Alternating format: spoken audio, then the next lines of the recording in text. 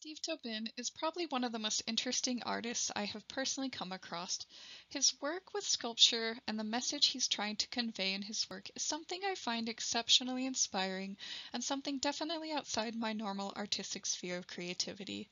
What drew me to him was not only his process, inspiration, and passion behind his works, but I deeply admire the amount of time and personal dedication he puts into each body of work he creates. Steve Tobin is a 64-year-old American sculptor who was born in Philadelphia, Pennsylvania in 1957. The inception of Tobin's love and inspiration for sculpture sparked from experimenting with physics in school and from experiencing nature from his youth.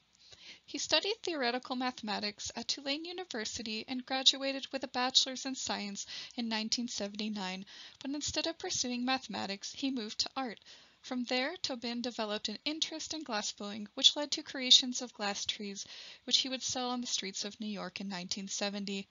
In 1972 he discovered a love of working with clay on a potter's wheel, and that laid the foundation for his craftsmanship and later creative works. His net worth is somewhere between 1 and 5 million. A lot of his work is drawn from the inspiration of nature, and he mainly works with glass, bronze, steel, and clay mediums.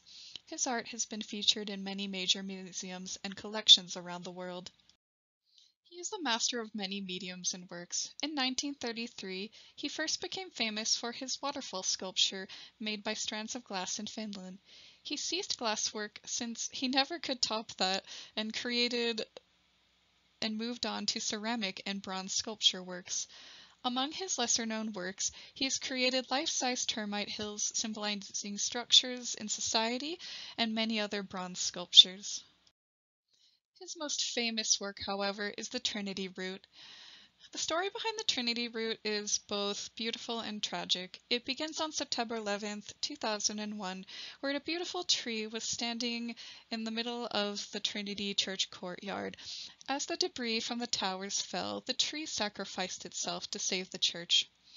Upon hearing the story, Tobin was both moved and took inspiration to get to dedicate the tragedy of September 11th and for the sacrifice of the tree. He decided to cast the root of the tree after carefully removing debris and spending over 20,000 man hours and over $1 million creating the piece. In April 2017, the Trinity Church moved the Trinity root to Connecticut without Tobin's knowledge. Significant damages were made to the sculpture, and Tobin was furious. He decided to sue the church, asking it to be placed back in its original location and for 200,000 in damages to be paid. Regrettably, however, he lost this case and it was never moved back to the Trinity Church courtyard. Along with Tobin's famous Trinity root, Tobin has made a collection of roots or root series, if you will.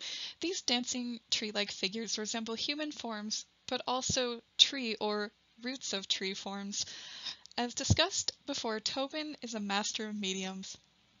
This includes the idea and concepts behind each of his work. The Root series have hidden art within them.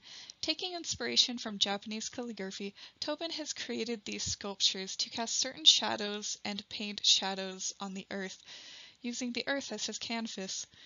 The shadows cast resemble Japanese calligraphic words, and with certain meanings in them as well. Tobin not only sees this as creating art of the earth, but a type of communication with the earth as well. Another one of Tobin's most recent series is called Exploding Earth.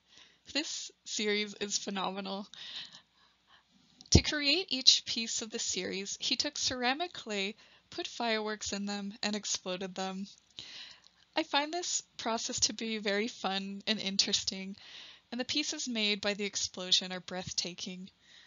The chemical reaction from the fireworks upon drying creates different shapes, colors, and textures. As you can see from the picture, beautiful, almost floral in nature shapes are created, and other details are placed to give artistic quality and personality to his work. I absolutely love the intense blue made by the explosions. It almost feels like you're looking into a magical water mirror or another world. I find it incredible that Tobin did over 10,000 explosions to create only 30 unique pieces for this set. And this speaks volumes and the amount of time he puts into his creative process as well. Steve Tobin's Exploding Earth series focuses heavily on the concept of maps of creation and the Big Bang Theory, except it's little bangs for him, which are created by mankind. Steve Tobin's creative process is taxing and puts in a full year's work to create his breathtaking and gorgeous sculptures. His work connects the viewer back to nature and to themselves. His installments are meant to be permanent, and he sees them as permanent and existing for the next 500 years. He extends his personal growth through his artwork, through the viewer. I find his work incredible, and I hope you find it fascinating as well. He truly inspires me to be a better and more inventive artist and he truly gives me a sense of wonder with his artwork and the creation process of art. Thank you so much.